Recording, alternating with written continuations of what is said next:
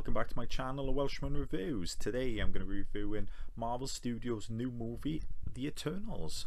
So this movie was directed by uh, Chloe um, Zhao, who did one just won the Oscar, I think this year for Nomadland, is it?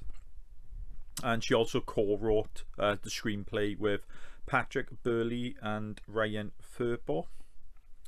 It is, and the movie stars Gemma Chan, Richard Madden, Salma Hayek, Angelina Jolie, Kumail Nanjiani, uh, Lia McHugh, Brian Tyree Henry, Lauren Ridloff, Barry Keoghan, uh, Ma, Ma Dong Seok, and Kit Harington. So, pretty much the story of this movie is uh, these immortal beings come to Earth to protect them from deviants who prey on intel uh, who become prey on intelligent life on these planets by the be so they come on you because the celestials want these planets to thrive which comes back in the movie which i'm going to do a non this is a non-spoiler i'm not going to spoil it but it does get a little bit of a twist at the end so but the problem with the eternals is they can help to progress civilization on our planet uh, slowly not rapidly but they cannot interfere in conflicts in war etc stuff like that which you get some flashback scenes during the movie of them some of them getting really pissed off that they can't help these people that they've kind of grown to love because they, they've you find out in the beginning that they've been on this planet they've been on earth for 7,000 years. But they cannot help unfortunately with war and conflicts which obviously if you watch the trailer Kit Harington's character with Gemma Chan asks him well, why can't you um, they kind of explain it a bit, of thing in the trailer but they go into a little bit more in this one. But after they fought the they've killed all the deviants unfortunately they come back and they've come back a bit stronger where they can kind of absorb one of them can absorb the powers of the eternals to get a bit stronger. So yeah you so they just the story is kind of them just all trying to get back together get the get band back together as they say to try and stop the deviants. But obviously there's a bit more to it than that. Kind of a bit of twists and turns it is which I'm not going to go into and I don't want to spoil it for people. I do recommend you go and watch this movie. Don't listen to the Rotten Tomato score being 50 odd percent or whatever being a rotten. This is a really good movie. It is. Like I said I'll go into my my likes and dislikes obviously but I just want to say a little bit about people mourn about the Marvel formula being the same. So they tried something different. They got a really good director. Uh, like I said, Nomadland had some very stunning visuals. This movie has the same very stunning visuals and all that, and great acting around the board, especially Angelina Jolie knocks it out the park with her character. But they're all great in this movie, all the actors and that. It kind of reminds me of a bit of a family drama uh, as I told my mate in the cinema last night that for me this movie felt like a grown-up Marvel movie. So it actually has a sex scene in it, not much of one. Uh, it represents uh, um, the LG as a BQ uh, community. It does. It it represents. It's got very diverse cast and yeah, it's uh, it for me. It felt like a grown up Marvel movie. Don't get me wrong, some of the action scenes in it are reminiscent of Marvel movies, but I think overall the family dynamic of the Eternals and the conflict in the movie really sets it apart from the other Marvel movies. And uh, when I was walking out the cinema, some people didn't like it, obviously, and all that, but you know, people mourn that Marvel don't do something different. The minute they do something different, people mourn about it. I really like this movie. It, it probably just pips into my top 10 Marvel movies. I'll have to watch it again to give it a bit more of a thing. But, you know, it, it is up there as one, not my one of my favourites, definitely not in my top five and all that, but I think it just gets in the number 10, maybe 9, maybe 10. It's definitely better than. I like this better than Shang-Chi and Black Widow this year. And I liked the, both of them movies. I really enjoyed both of them movies. I, done reviews on his channel about them as well if you want to go back and see. I really did enjoy them.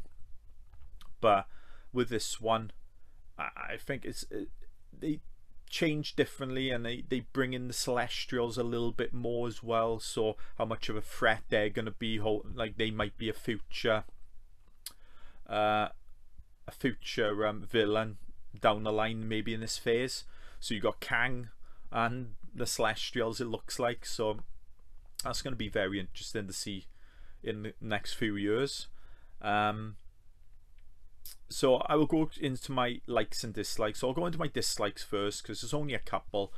Um, kind of falls under the same as the Marvel other Marvel movies where you don't have a really strong villain.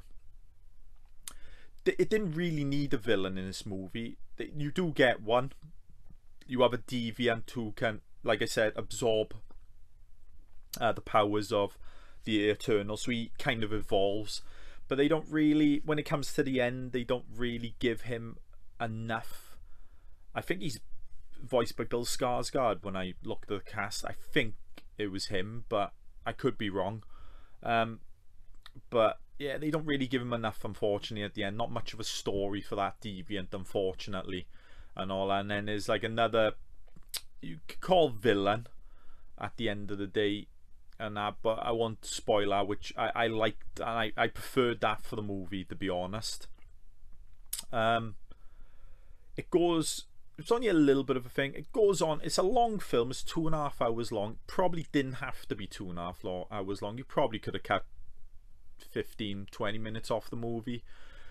But it didn't really feel like two and a half. It did go pretty briskly and all that. So, but it is a long film, and some people, some of you might not like it for being that long.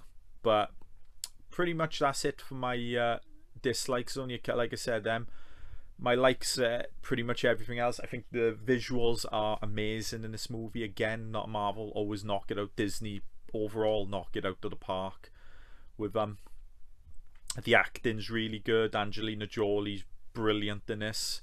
You know, she's she's a step up on everyone else, but everyone else below her does a stellar job. Um, I like the story.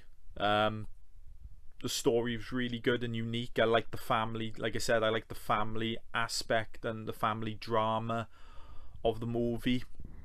It was um, not enough Kit Harington. He's kind of a bookmark, uh, bookends of the of the movies, like in mostly in the beginning and the end. He's not anywhere in the middle of the main story, and he's in one of the end credit scenes as well, which. I, uh, don't really want to put in my negatives like the dislikes, but if you don't know much about the comics, the two end credit scenes are gonna be like whew, straight over your head. Like I got a little bit about the comics. I don't know hundred percent about the Eternals, and I think Kit Harington's character is teased to be Black Knight. I don't know much about them, but I know about them, so I kind of recognized it. But if you don't, I haven't got a clue, and you're just following the movies, you're not going to know them at all you are but um, I like some of the bits of the music as well um, it's like a bit generic in some scenes when you're in the present time but when they go back and they go back to their earlier days of when they first came to earth and a bit on and on I like how they incorporate some of the um, uh, where they are at the time into the music so yeah very good but like I said, overall, I really enjoyed this movie. I I wouldn't listen to Rotten Tomato, which probably a lot of you probably don't. But don't let that put you off watching the movie. I, I totally recommend it. And if you're one of them ones who wanted to see a little bit different from Marvel, that's why I like kind of like the TV shows like uh, WandaVision and Loki. Kind of give you something a little bit different in the story. This is the same uh, thing. I don't think we're going to get an Eternals 2. But I expect these characters to be sprinkled into other Marvel movies. So, yeah, I'm uh, say looking forward to seeing how uh, they progress with Phase Four, which uh, I think they've started off well, especially with the TV shows and a couple of the movies. It is, I think, and yeah, December's going to be very good for Disney when you've got Hawkeye and uh, well, not just Disney, Sony as well for Spider Man and all that. So I'm interested to see how they um, progress further on. If you like this video, give it a thumbs up. Tell me down below what you thought of the movie, or if you are if you're going to see it, and if you'd like to see more reviews, I guess please subscribe to my channel, and I will see you next time.